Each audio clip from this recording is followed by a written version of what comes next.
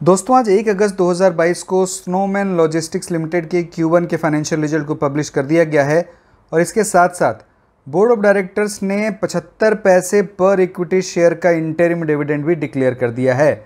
तो आपको आपके हर शेयर पर 75 पैसे का इंटरिम डिविडेंड मिलने वाला है और ये इंटरिम डिविडेंड फाइनेंशियल ईयर 2022-23 का है और इस डिविडेंड की रिकॉर्ड डेट 9 अगस्त 2022 फिक्स की गई है।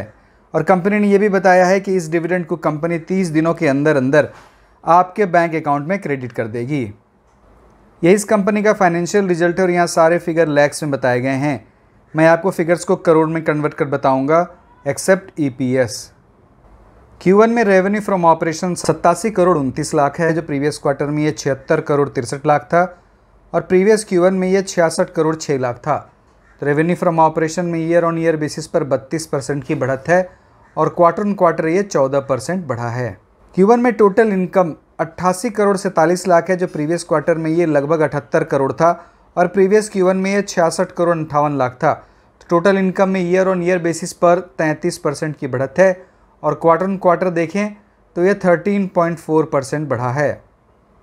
Q1 में प्रॉफिट बिफोर टैक्स तीन करोड़ छः लाख है, जो प्रीवियस क्वार्टर में लॉस बिफोर टैक्स 25 लाख था और प्रीवियस ईयर के क्वार्टर वन में प्रॉफिट बिफोर टैक्स एक करोड़ उन्नीस लाख था। तो प्रॉफिट बिफोर टैक्स में ईयर ऑन ईयर बेसिस पर एक परसेंट की बढ़त हुई है और क्वार्टर ऑन क्वार्टर बेसिस पर तो ये कई गुना बढ़ा है। Q1 में नेट प्रॉफिट या प्रॉफिट आफ्टर टैक्स एक करोड़ अट्ठासी लाख है, जो प्रीवियस क्वार्टर में नेट लॉस 21 लाख का था और प्रीवियस ईयर के Q1 में नेट प्रॉफिट 60 लाख के आसपास था।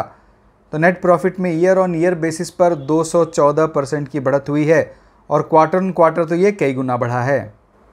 Q1 में अर्निंग पर शेयर 11 पैसे है, जो प्रीवियस क्वार्टर में लॉस पर शेयर एक पैसे था और प्रीवियस ईयर के Q1 में अर्निंग पर शेयर चार पैसे था।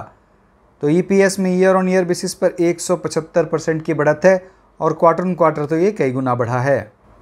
क्वार्टर वन में एबिट्टा 21 करोड़ 30 लाख है, जो प्रीवियस क्वार्टर में 18 करोड़ था और प्रीवियस ईयर के Q1 में ये 17 करोड़ 40 लाख था।